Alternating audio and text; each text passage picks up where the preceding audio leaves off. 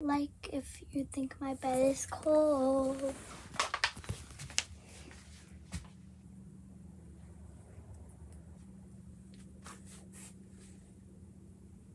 It's a house bed with two stories.